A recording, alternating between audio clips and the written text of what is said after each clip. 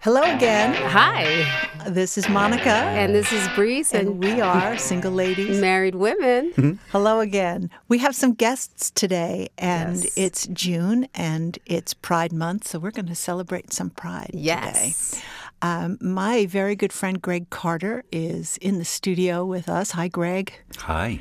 Um, Greg and I are good friends, and we've worked together on many times. Many times, yes, and enjoy it thoroughly. I think I so. Think so. I do. yeah. Because you're uh, both actors. Correct. Yes. Yes. Are we? Yes. oh, we are. so we're together. We're like, okay. Yes. And we have a call in guest. Yes. We have the fabulous Farrah Krenick in the house. Hi. Well, not literally in the house, but she's on the phone, and we're so honored to have you. Uh, is a prominent actress. She's been on Orange is the New Black, Law and Order, Nurse Jackie, and not only that, she's an activist. Uh, she has stood for many causes, including bullying, and is just a wonderful woman who encourages everyone she meets. So I am very grateful to know her, and thank you for coming in, Farrah. I mean, for calling in, Farrah. you flatter me. Thank you so much for having me as a part of your podcast. Thank you. Well, you're you're welcome, and thank you yes. again. So we wanted to talk about uh, relationships and as we usually do, uh, mostly it's between uh, single ladies, uh, married women, but this is going to be single people, married people. Um, and um, one thing, Farrah, we started talking about right before we went on the air are differences and similarities between a uh, a same sex couple and you know, a heterosexual couple, uh, because as I was saying, I think people are people. So I, I was, um, I'd like to take that conversation a little yeah. ways down the road and and see where we agree and where we maybe disagree on that. Well, I mean, I, I think um, yes, you are correct. You know, in the end, we are just people, but you know, as, as much as open as I would like to be and as liberal as I would like to be, I can't help but state that there are differences between men and women. As much as people want to, you know, with everything being fluid, with uh, being gender neutral and so on, there is a difference between men and women. And so um, today, the problem is you can be, you can have a relationship to men, to women, man and a woman. It, it really doesn't matter. Uh, that's one topic. But the thing is that what ruins and the complications that couples face today is that relationships are not what they used to be. Not because of it has nothing to do with their gender. It has to do with the fact that all the smart technology, social media, and all of this digital love, as I call it, is ruining what a relationship should be. In other words, you know, uh, voices are being replaced with text. Um, love letters are being replaced with very long and well put together emails. So people basically are being so desensitized to to ha- adding that personal touch in their life that we don't realize it, but uh, people have become lazy. People do have no reason to give effort because like, oh yeah, I'll I'll I'll get I'll get I don't have to respond to the text now. I'll I'll call her when they say I'll call her later. I'll text her later, and um, slowly but surely, you're falling in love with the image of a person, not the actual person. Well, like as you catfished. being what catfished. Catfish. Yeah. Do you know what catfish I is? don't. Okay, so I'm gonna I'm gonna be so straight up about this. Okay. I just learned what cat. Apparently, this has been around for a long, long time, but I just learned about the definition of catfish like last year. That's when, and correct me if I'm wrong, Farrah. Like you meet somebody online and you're messaging and all that good stuff, and you show up and they're not even they don't look like the same person. Sometimes they're not even the same person. Is and that they're correct? not even happy to see you Mm-hmm. because they're not. They Ah, don't want to I see, see. you. They just love the thought of you. Okay, but what you're talking about is, as you said, true for all people, anyone who's trying to meet someone. and connect. Oh, yeah. I think connect. Yeah, I think the connection, the the form of connection has definitely changed. But I think uh, what Monica was alluding to is what are the differences? Like, there's got to be challenges, uh, and God knows, same-sex couples have faced uh, formidable challenges Yeah. over the years. And I, I'm just thrilled that it's Pride Month, and I think it should be Pride Month every month because um, love is love to me. And I think that, you know, love doesn't have a color. um, and it doesn't have a sex. And I'm just happy that people are loving. And Gay Pride, the first Gay Pride parade was 1970. And I just want to shout that out and be so excited that it's still happening and it's flourishing and it's growing. So I'm just doing it. Uh, Farrah, are you single now or in a relationship? I am single. You're single. Greg? I'm in a relationship. A long term relationship? Uh, it will be. uh, we've been together for four and a half years. I think oh, that's long term. That's Yeah. beautiful. Yeah. Yeah. Yeah. Mm-hmm. Yeah. And so, what are the challenges that you have faced, Greg, if you don't mind sharing? Well, there's all kinds of challenges. I don't know that it, in my opinion, you know, I can only speak for me. Um, I don't know that any of it is specific to being gay or not. Um, I think it's the same challenges that uh, that everybody faces. Um, you obviously go through that period of you know being gaga and everything's perfect and wonderful, and then as you go along, it's like, oh, so you don't do this or you do do that um, and so i think it's uh, like with most relationships there's an awful lot of compromise that's involved Right. um, what i have found in my current relationship is and why i think it's is going to be long lasting is my interest in wanting to compromise Right. uh, is different um, than any past relationships I've had. Um, I don't always agree. It's not always easy, but there's always um, something in me that's like, okay, we can work this out. We'll figure this out. Right. Um, but in terms of, you know, what our challenges are, I think our challenges are based on, you know, uh, our personalities. You know, my stubbornness, um, his inability to uh, be flexible at times, things that we disagree on. But I don't know that um, anything is specifically because we're two gay men. I think he and I specifically try to not get mired down in a lot of those gay men stereotypes Right. um, because it's something that we're not interested in and I don't think is genuine and real to both of us.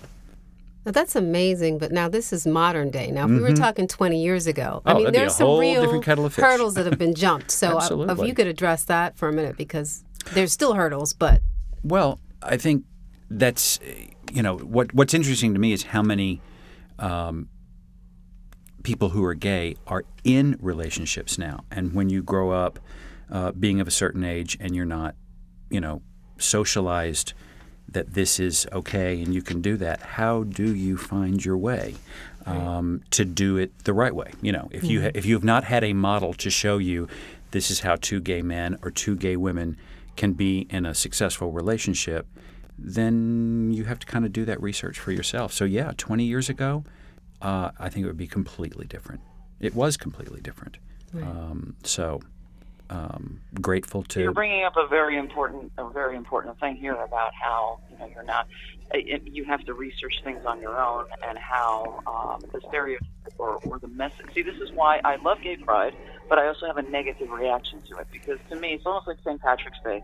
St. Patrick's Day is supposed to be a day of celebration of religion, and it's become a day of alcoholism. You know, Absolutely. people don't people don't understand. I mean, if you ask them what the capital of Ireland is, half of them will say Guinness. So my thing is, for gay pride, if you are in a relationship, any relationship, gay, straight, whatever, undecided, you know, um, it's not about celebrating that day. And, you know, life doesn't happen on gay pride. Life happens on a Tuesday. Be there for me on Wednesday morning. Hold me in your arms on Sunday morning. You know, Yeah. I uh, celebrating that day. It's almost like having a spouse or a partner, and uh, you know, celebrating her birthday or celebrating your anniversary, and for the rest of the year you ignore her. Mm-hmm. You know, we parading around. I understand that you know it's happiness, and people take go overboard and they parade around half naked and they do this. But that's exactly why a lot of people still have a bad reaction about us because they think that's how we live. I, I, I feel it looks very interesting. I wish that really were the case, but uh, you know, I, I'm I'm just an old soul. I'm uh, you know I'm very romantic. I'm very old school. You know, and I I like feeling that chivalry. You know, in a relationship, I like feeling that sense of you know you know that I'm going to protect you feeling. Right. So you know when you see somebody parading around in all these you know rainbow feathers and all that kind of stuff, it's just like that is so not what it's about. That's not what we do. Yeah, it's I I I I, uh, I hear what you're saying because. Um, you know, I want everybody to do whatever they want to do. I am so liberal, it's crazy. Um, but I, I wonder about that. And not so much in terms of people accepting us, because I'm not looking for people's acceptance. Um, I am who I am, and I just want my civil rights. And if you if you don't accept me, that's fine with me. But I do wonder. So on one day, we a lot of us uh, you know, sc- are scantily clad and, and, and jumping around, like you said with the uh, St. Patrick's Day parade. It has become a day of okay, let's get drunk and throw up on the street. Um, not really what I'm there to celebrate, that's for sure. Uh, so I hear what you're saying. But do you Just- feel like it turned out to be something very uh, disrespectful? Right. How to be did it start? What what was the original intent of the month of or of the parade of the Well, the first original gay. I mean, we're not even talking now. It's become a whole city. They have to shut down Fifth Avenue. Right. But the very, very first gay pride. How many people were there? There were. They, they, they have a historic picture. It was very. I mean, you. I think you can count them on one one hand. Mm-hmm. It wasn't. It was. It was just a small group of people, and decided to start marching. But of course, naturally, as the years went by, everything started to get. I I would say, progressively worse because the original message. I understand that they couldn't. Uh, you know, for a small group of people that wanted to start, you know, gay pride, they really didn't have much of a voice because there weren't that many. But now it comes to the point where you need, you know, the NYPD, where you need security because people go crazy. You know, um, it, it's almost like the same thing when, um, you know, when it's the Puerto Rican Day Parade. right? You know, it's all it's all it's, it's all chaos in the city, I or think that- even for, you know, or even SantaCon. For God's sake, SantaCon has Merma- become now Right. Mer- Mermaid Day, yeah, Mermaid Yeah. Days, and Yeah, and that's why they've rerouted it this year, and they've actually shortened it because it has become um, it's become huge. It's the largest, uh, one of the largest. I shouldn't uh, speak statistics that I can't prove, uh, but it's one of the largest parades in the city. And so this year they've rerouted it and they've shortened it because it's just become this thing that the city can't manage anymore. The Dyke March, uh, the Dyke March too. That's also become something that at first, I mean, it was some, which which I. you What know, is that? also- the Dyke March. yeah? Exactly that. I didn't know. I didn't know there was one. All yeah, right.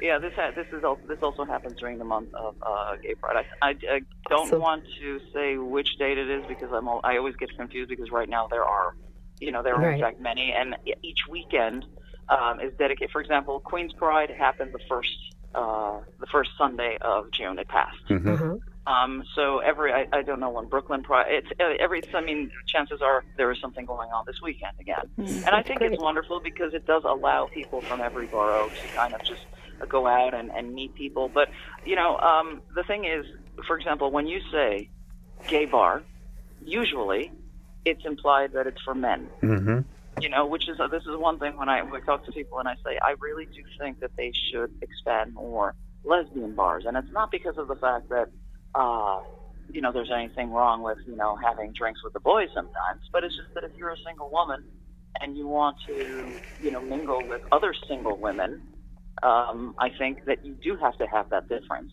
You know, and you do have to have something that is a place that you could call your own.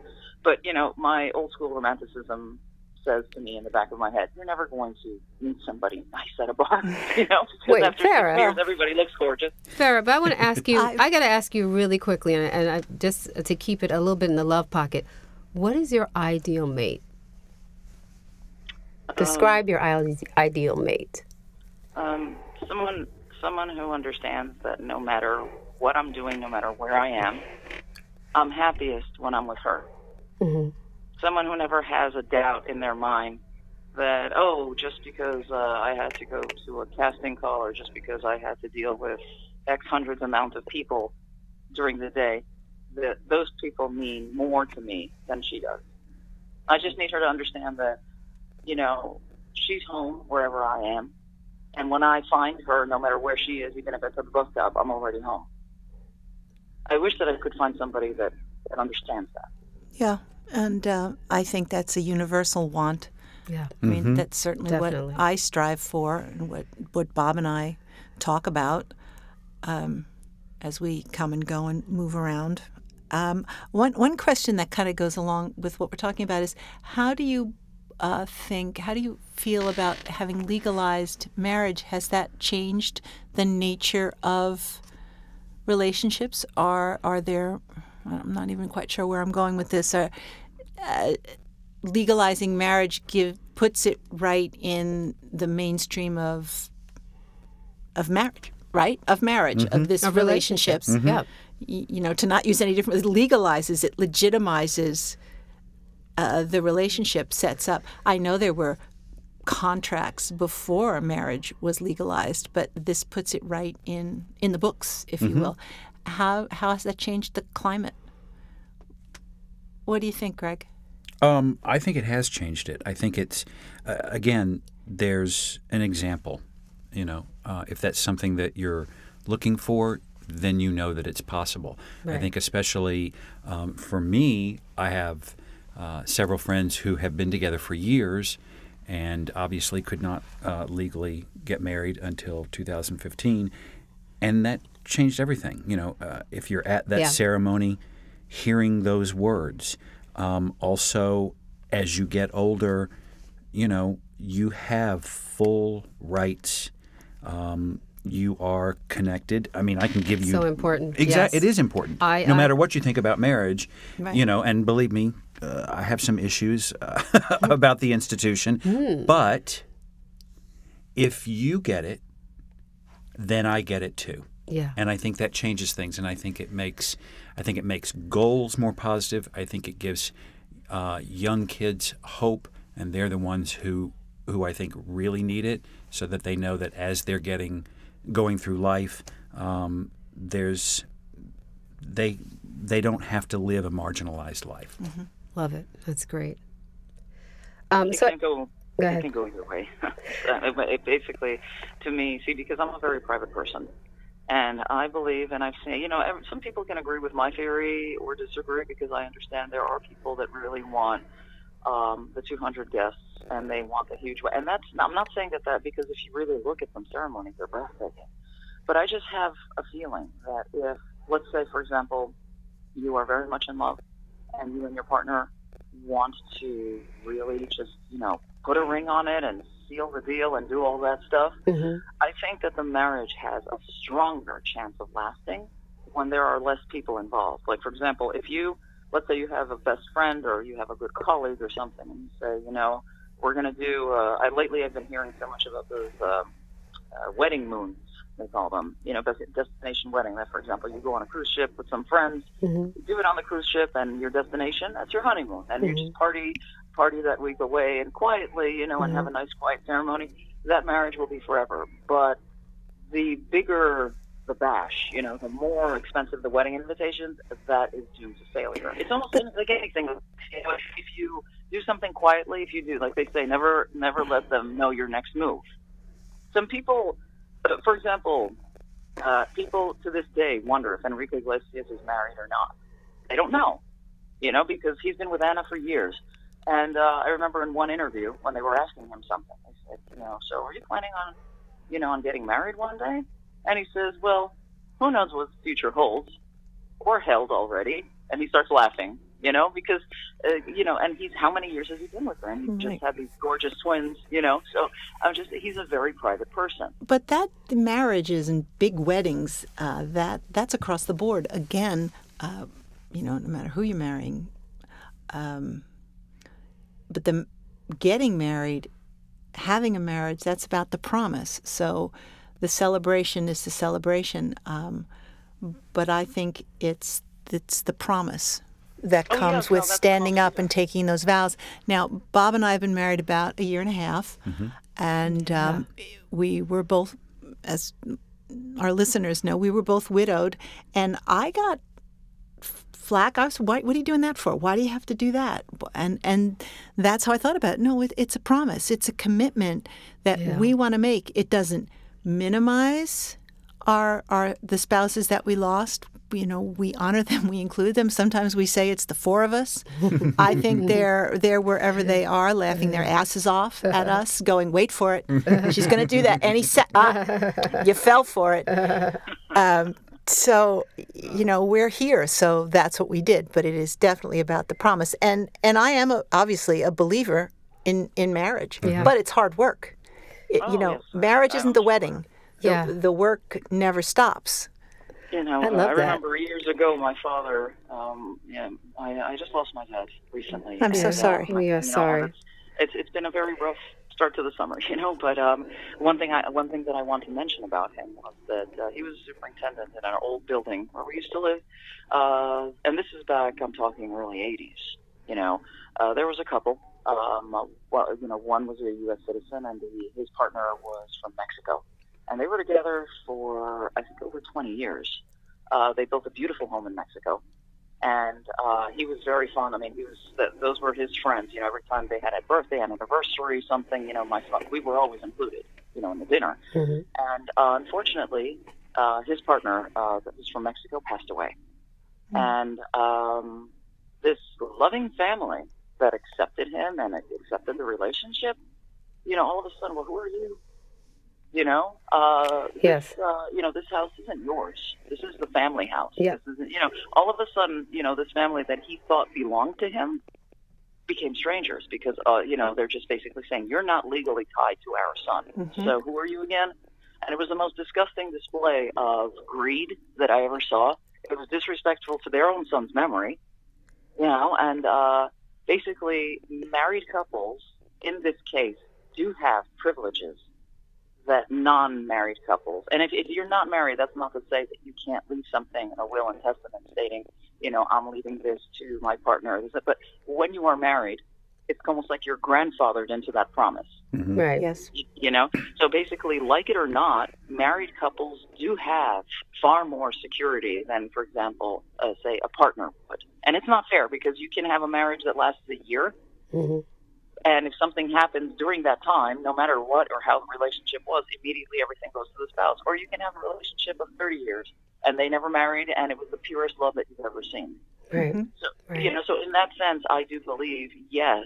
You know, not just not just because that, you know to protect yourself, but I do believe that aside from the romantic aspect of it, you know, there are things in life that, such as death, such as accidents, and then you know, it's it's horrible when all of a sudden people that you thought and admired you, liked you, they treat you like a complete stranger. You know, the number one question, well, who are you? You're just the boyfriend. You're just the girlfriend. You know, this I'm the mother, I'm the father, or I'm the brother. You know, all of a sudden they, no matter what you went through with this person, you're not anybody.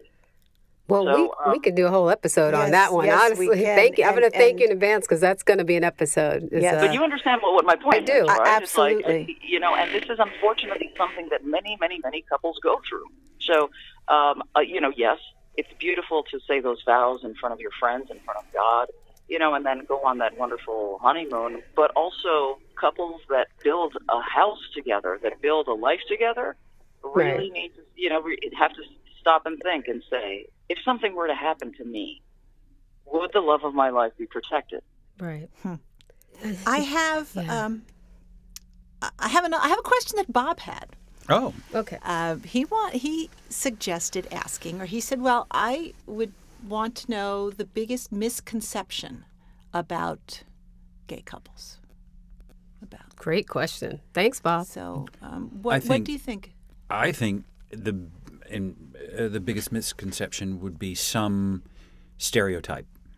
Um, Like, Well, you know that all lesbian couples go on one date and then the U-Haul is there the next day, or that all male. There are some like that, though. There are. There's there's some like Well, everything. stereotypes come from exactly somewhere. Um, or that all male gay couples um, are uh, constantly hunting for sex and they don't they're not monogamous, uh, or that they're you know partiers. And there are some that are, and there are some that aren't. Um, So I would think that would be the, you know, just off the top of my head, the biggest misconception. Because again, I go back to um, your original comment or premise that people are people and relationships are a challenge, and I don't know that it has anything to do with who you're uh, in love with. Those challenges are still there uh, all the time. Uh, I'd be interested to hear what others think of that, but that's that would be my to answer Bob's question.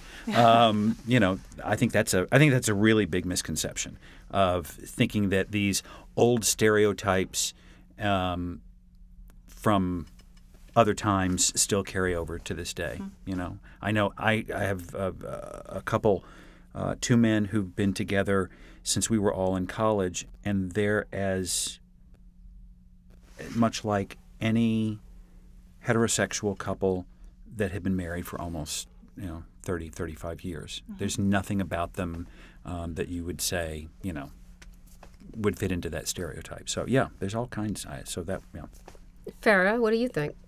Uh, I can't. I especially I can't stand phrases like when people find out that you're gay. That you're so beautiful. Gay women are not ugly.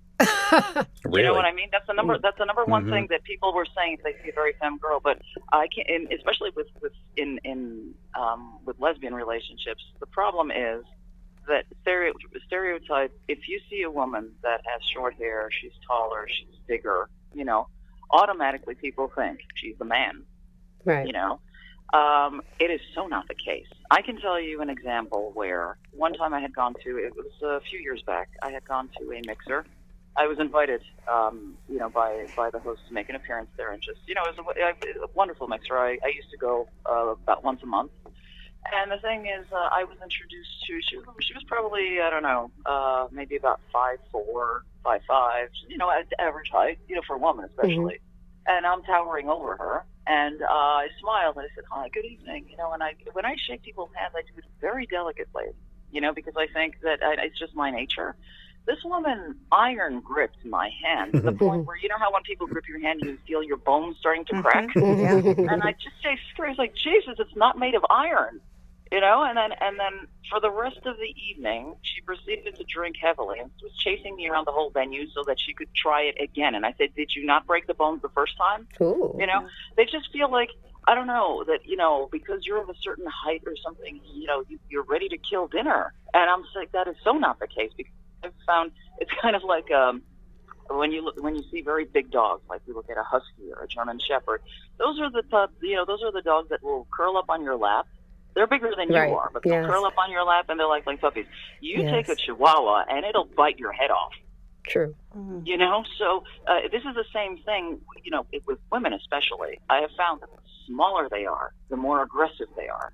You know, and the bigger they are, it's it's actually like a puppy syndrome type of thing. So I tell people, please don't fear me. You know, Yeah. quite the contrary. And and that's very similar to what many people say about short men and tall men, straight men. Right. That yeah, you know, The Napoleon complex. the Napoleon complex. Exactly. Okay. I got to ask this, and I, I'm going to try to figure out how to ask this, but since I have both of you here, um, one thing I've always admired, and I made this up, so I want to get some truths about this from both of you. What's so cool about some of the, the gay culture is they can meet at a bar.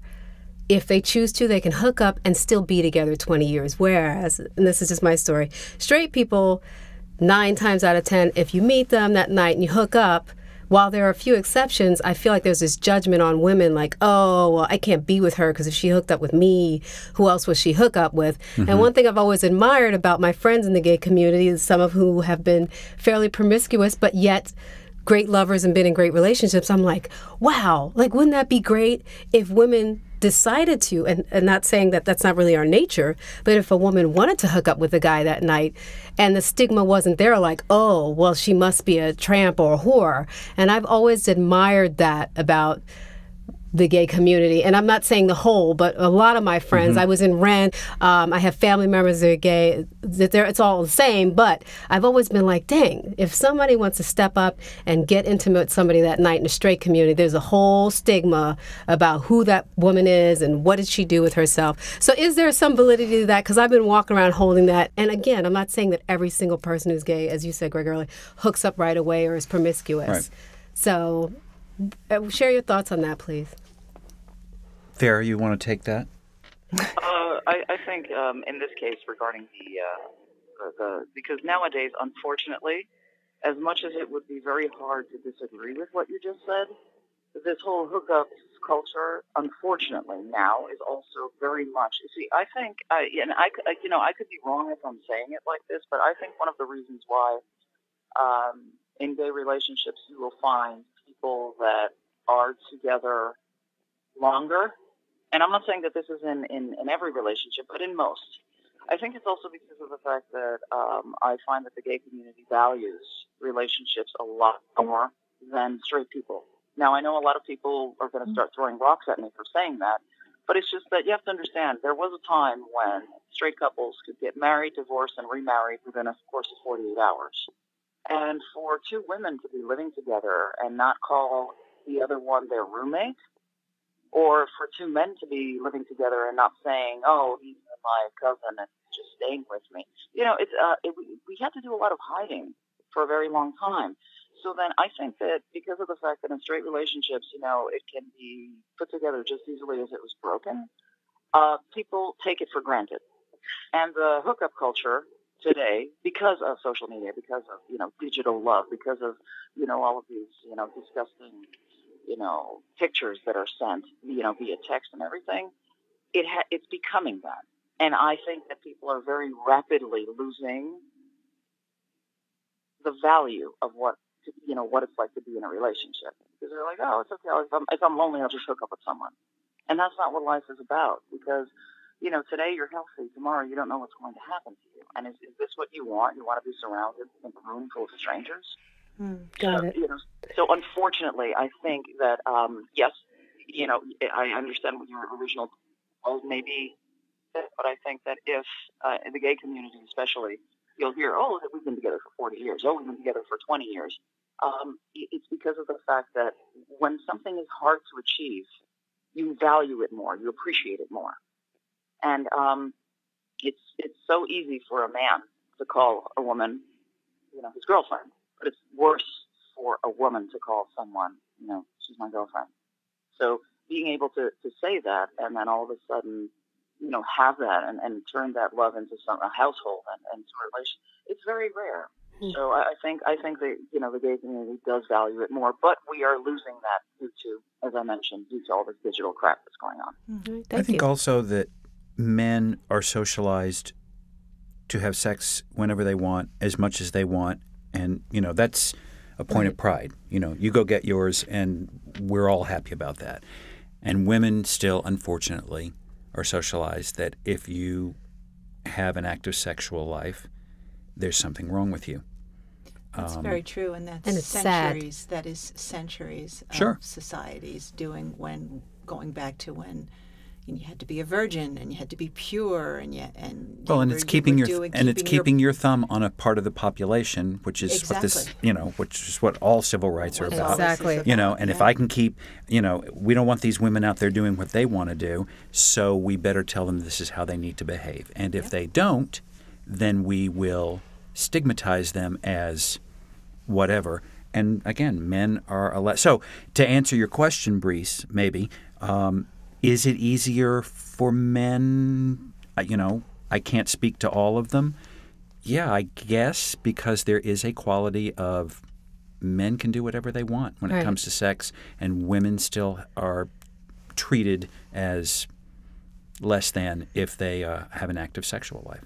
Yeah, and I I'm, think I'm going to leave you with uh, one thought, if I may, before yeah, I go. Of course. Uh, uh, this is probably going to be for our next segment. You know, this one might make you laugh. Okay. You know, we, we say we say that we think you know that uh, you know we're everybody's gender neutral and we're all accepting and this and that. But I promise you, the example that I constantly see is, if for example a man meets a woman, and she says to him that for the past eight years or for the past ten years of her life, she was in a relationship with two women you know, she hadn't been with a man or something, and she just broke up with her girlfriend and whatever. Uh, I promise you, he would not have a problem with wanting to become this woman's boyfriend. You know, and and kind of say, well, uh, I'm going to show you what it's like to be loved by a man. But I do promise you that if a woman meets a man and he says he's been in a relationship with four men for the past 15 years or something like that, she will have a negative reaction to that immediately she's going to start thinking illnesses, oh STDs, or you know what can you know, or he'll he'll be with me and he'll leave me for a man. That was the first one I would have thought of, and because I'm agreeing with your Yeah. your first statement that if a, a woman told a man she had been with another woman, he'd be like. All over it. Yeah. really? Let's uh, try that. Like really? Okay. Let's try that. It's our anniversary. And yet, if a man told a woman, uh, Yes. uh, my first thought was, oh, he, he would leave her. he would Yeah. he would leave no, her. No, but e, especially the first part. For example, if the woman says to the guy, you know, I've been for the past ten years, I've been in a relationship with three men, or if, uh, even better, if she says for the past ten years, she's been she just broke up with her girlfriend of ten years. I mean, he would, if anything, he would think it's a wonderful thing to be with a woman that's that's had this because she's more in touch with her emotions. She's very sensitive, you know, and she Sensual, pretty much knows maybe what she wants. It, and just like you said, but he'd be all over her because Yeah, he'd be like, wow, absolutely. you know. Oh, yeah. But uh, but women do not think that she wouldn't say, oh, well, he's secure in his own skin because you know Right. he's been with four men now. He's on it. And on that note, uh, I know you're going to jump. you're going to jump, and we've actually Wait. run over. Wait, but before we go, I just want to say one thing or contribute one thing. Um, and thank you so much for your time. Uh, we really appreciate both of you extending your time on this episode. thank you for having us. Thank you. So, Wikipedia, gay pride. Gay pride or LGBT pride is the positive stance against discrimination and violence towards lesbian, gay, bisexual, and transgender people to mo- promote their self affirmation, dignity, equality rights, increase their visibility as a social group, build community, and celebrate sexual diversity and gender variance. That is the definition of gay pride according to Wikipedia, and I think that is pretty fabulous. Um, yeah. So So so And on that thank- note- Proud every day is one. Proud is one every message. Proud every Be- day. Mm-hmm. Be there I like every that. day. Yes. Be there every day, not just for Gay Pride, not just for St. Yes. Patrick's Day, not just for be, love your partner every day, not just on Valentine's Day. Love Yeah. yourself every That's- day. Yes. Exactly. Love That's even better. thank you again. Thank you guys. Thanks Thank so you, much. Farrah. Okay. Talk Thank- to you guys soon. Talk All to right. you soon. Weekend. Have a great, Bye-bye. have a great one. Bye. And Greg, thank you. Yes. You're welcome. My pal there You're for, welcome. uh, It's great coming to on see you. down. Yes. and great to meet you, Breece. Yeah, and thank you for coming in and thank you for sharing. And I appreciate your contribution to this you. podcast It and fun. sharing It your was life. fun. So Yeah, awesome. We'll have to do round two or three and bring your partner in, Exactly. perhaps. Exactly. Think we can get Liam on? Uh, probably. And he right. talks better than I do. So. Oh, you are perfect. You're fabulous. Thank you so much. right, we're it's good. great fun. Okay. So till next time, Till next time. Single ladies. Married women, we'll see you soon. off. Hope you enjoyed the episode. Let us know See in the soon. comments below.